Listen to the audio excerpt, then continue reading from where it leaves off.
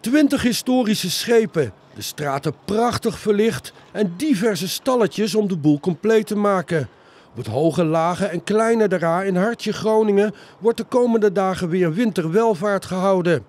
Op de schepen en in 25 panden op het festivalterrein worden tal van kleinschalige culturele activiteiten georganiseerd. En op de straat is er een kerstmarkt. De deels drijvende kerstmarkt wordt voor de dertiende keer gehouden.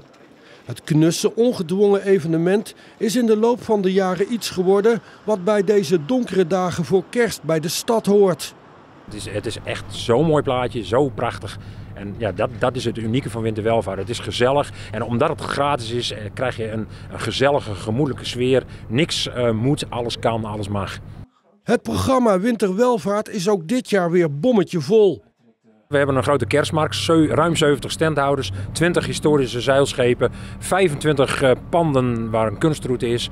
Op alle schepen is uh, programmering, van kinderprogrammering tot uh, muziek, theater.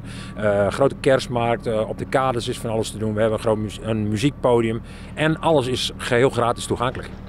Het festival is ontstaan omdat de bruine vlootschippers, die in de zomer hun geld verdienen door met gasten te varen, in de winter hun schip willen aanprijzen voor het volgende seizoen. Er lagen een paar schepen in de winter die niks te doen hadden. En die moeten hun geld verdienen in de zomer als zeilende, uh, varende uh, schepen. Eigenlijk soorten mini-hotels op het water. Uh, en door in de winter mensen aan boord te krijgen, konden ze zichzelf prom promoten. En zo is het uitgegroeid tot wat het nu is. Het is toch een bron van inkomsten. En daarnaast, je komt weer onder de, in de bekendheid.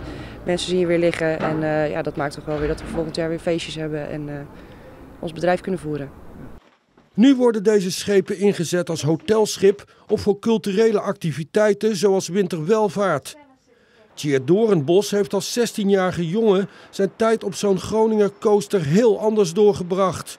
Het was werken, slapen en uh, verven, roesbikken en uh, nou, het werk, wat het, het onderhoud van het hele schip zeg maar.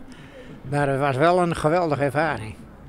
En hoe is dat nu eigenlijk om zo'n schip dan weer terug te zien naar al die jaren, zo'n type schip? Ja, ik ga helemaal terug uh, naar die tijd, hè. zo in mijn hoofd. Ik ruik de machinekamer, de olie ruik ik gewoon. Winterwelvaart is vanaf vandaag tot en met zondag te zien.